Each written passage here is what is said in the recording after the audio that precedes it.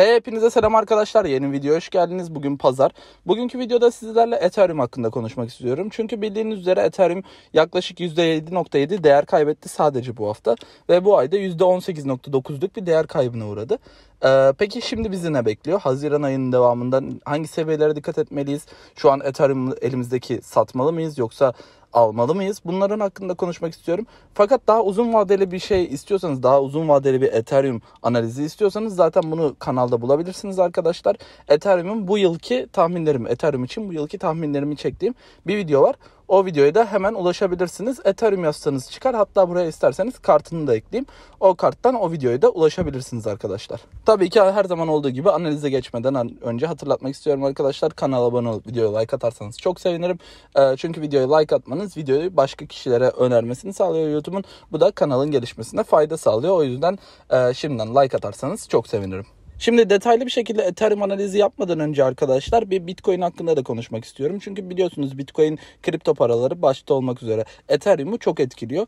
O yüzden et, Bitcoin'de neler oluyor, Bitcoin'in son durumu ne? Bir onun hakkında konuşalım. Daha sonrasında da zaten Ethereum'un daha detaylı bir analizini yapacağım sizlerle. Şimdi Bitcoin tablomuza bakarsak arkadaşlar geçtiğimiz 48 saat içerisinde Bitcoin %8.5'lik bir değer kaybetti. Ee, bu neden oldu diye sorarsanız buradaki üçgensel formasyonumuzu zaten videolarımı takip eden kişiler biliyor arkadaşlar. Ee, uzun bir süredir böyle yatay hareketler yapıyorduk. Hiçbir hareket görmemiştik.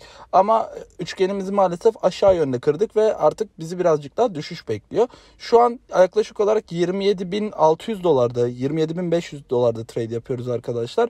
Ee, ama bu düşüş daha devam edecek mi diye sorarsanız bence evet. Ee, neden diye sorarsanız burada hatta fiyat seviyelerimi de getirirsem arkadaşlar gördüğünüz gibi 26.900 dolarda bir tane desteğimiz var.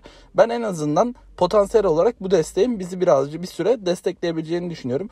Bu seviye neden önemli diye sorarsanız e, gördüğünüz gibi 3 hafta önce bir kırılma yaşamıştık zaten bu üçgenin ilk başına gidersek. Orada 26.900 dolara kadar bir mum yakmışız. Mumun ucu 26.900 dolarda.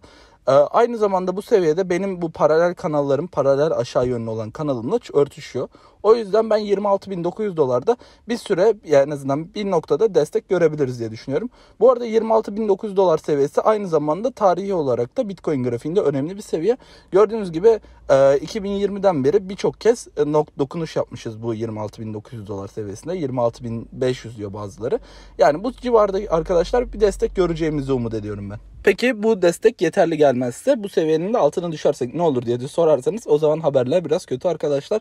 Çünkü gördüğünüz gibi fazla bir seviyemiz yok o arada 20 bin dolara kadar. Ben muhtemelen 20 bin dolara kadar düşüş yaşarız diye düşünüyorum eğer 26 bin 900 dolar seviyesinde dayanamazsak. Bunun sebebi de 2017 ayı sezonu pardon 2017 boğa sezonunun all time high fiyatı yani en yüksek fiyatı 20 bin dolardı arkadaşlar. Ee, bu yüzden 20 bin dolar seviyesi psikolojik bir seviye ee, ve orada bir destek görürüz diye tahmin ediyorum ama oraya kadar muhtemelen bir serbest düşüş yaşayacağız. Peki Bitcoin'in potansiyel olarak en dip noktası neresi arkadaşlar? Ee, bunu 2-3 aydır söylüyorum böyle bir formasyon olduğunu söylüyorum. Pek kişi inanmamıştı bana hatta yorumlarda dalga geçenleriniz bile olmuştu. Ama bence artık insanlar ciddiyetin farkına var diye düşünüyorum. Ee, burada bir ay bayrağı simgemiz var zaten bayrak kısmı burası. Ekranda gösterdiğim sopa kısmı da burası. Bunun hedefini çizersek arkadaşlar maalesef ama maalesef 12 e, bin dolarlık bir Bitcoin hedefi söz konusu bu ay bayrağı için. Ee, kendim için konuşmak gerekirse arkadaşlar 12 bin dolar seviyesi benim portfolyomu gerçekten kötü bir duruma sokacak gibi gözüküyor. Umarım evi ipotek ettirmeme gerek kalmaz. Ee, şaka yapıyorum arkadaşlar yani sadece kaybedebileceğiniz şeylere yatırım yapın. Yani kaybedemeyeceğinizi kaybedemeyeceğiniz şeyleri de sakın yatırmayın böyle kripto paraları risk marketlerine. Çünkü bunlar tehlikeli şeyler. Ee, iyi yandan bakmamız gerekirse arkadaşlar e, boğa sezonlarında zengin olabilirsiniz arkadaşlar ama ayı sezonlarında servetinizi arttırabilirsiniz. Böyle bir söz var. Tam İngilizceden Türkçe'ye çeviremedim ama siz mantığı anladınız. Ucuz fiyatlardan yüksek miktarlarda Bitcoin toplayabiliriz ve Bitcoin'in ben gelecekte gerçekten çok yüksek miktarlara ulaşacağını düşünüyorum. Bu da uzun vadede bize kazanç sağlar diye düşünüyorum. Galiba Bitcoin'de söyleyeceklerim bu kadardı arkadaşlar. Tekrar söyleyeyim bu Ethereum'un e, böyle bir düşüş yaşayacağını çok e, 2-3 ay önce zaten tahmin etmiştik. O videoyu da tekrar izleyebilirsiniz. E, başka bilgiler de veriyorum o videoda. Bence onu izleyebilirsiniz. E, Ethereum analizine geçmeden de sponsordan bahsedelim arkadaşlar. Sponsorumuz her zaman olduğu gibi Bybit. Bybit benim kullandığım kripto para platformu ve kendileri bence en şeffaf en ve en güvenilir kripto para platformlarından biri. Kendilerinin aynı zamanda güzel etkinlikleri de oluyor arkadaşlar. Şu an bir trade turnuvamız var. Bizim takımımıza katılırsanız e, yüksek miktarlarda 8 milyon dolara kadar bir e, ödülü var. Bu turnuvanın geçen sene 40 bin dolarlık takım olarak bir ödül kazanmıştık. Ben bu sene hedefimi daha çok yükselttim. Bence daha güzel bir yere varabiliriz diye düşünüyorum.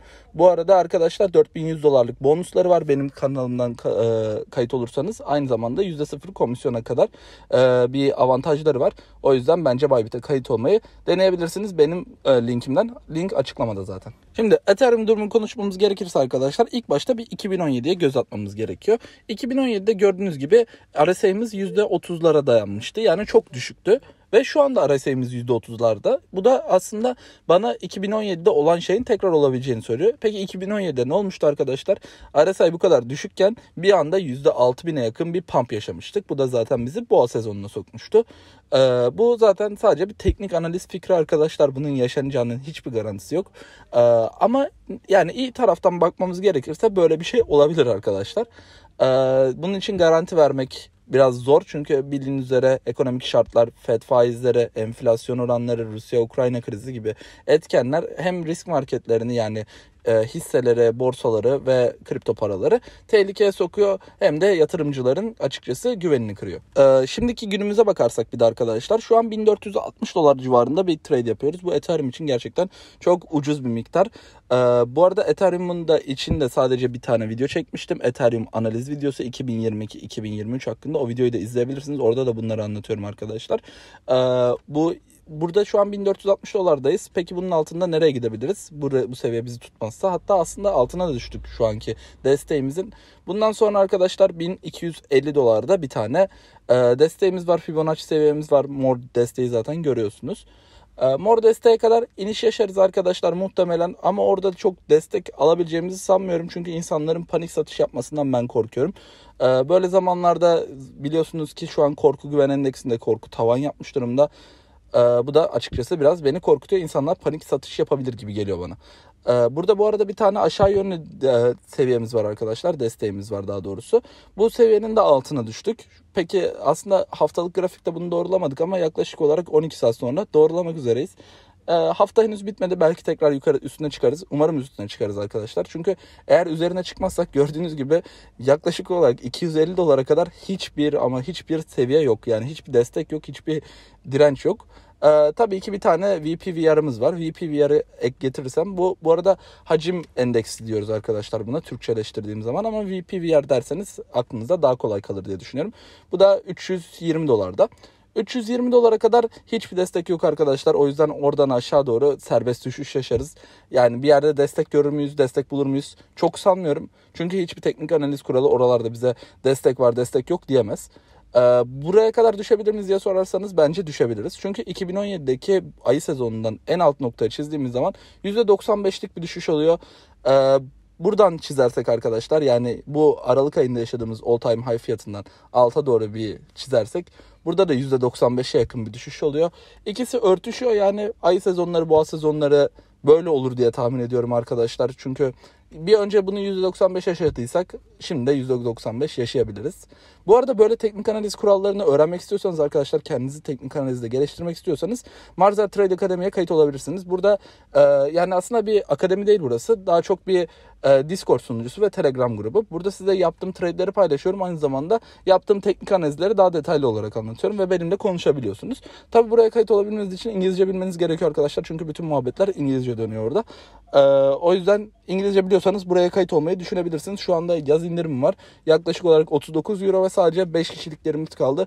5 kişiden sonra alım yapamayacağız. Çünkü e, Discord çok kalabalık olursa hiçbirinize yetişemiyoruz. O yüzden herkesin iyiliği için e, sınırlı sayıda kontenjan açtık bu sene. Yani işte arkadaşlar böyle Ethereum'un durumu.